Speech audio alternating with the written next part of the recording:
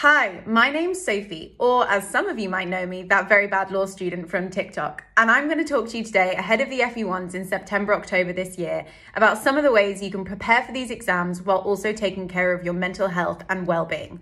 I'm also going to tell you about some of the resources now available through the Law Society Psychological Service. I know exactly what it's like to study for these exams, and these are my three tips that always help me get through the exam period. The first one is to make sure that I always have a plan. It's definitely worth setting aside half an hour to sit down and figure out exactly what you want to revise and when you want to do it.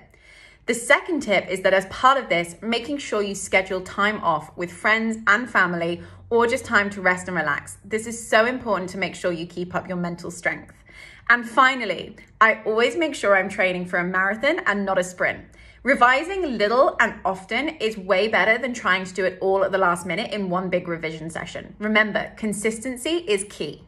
I'd also highly recommend accessing the Law Society Psychological Service. This is a fantastic resource that supports students from transition year and FE1 candidates all the way through to advanced lawyers and succession planning. They have a new website full of useful toolkits and support that you can access throughout exams.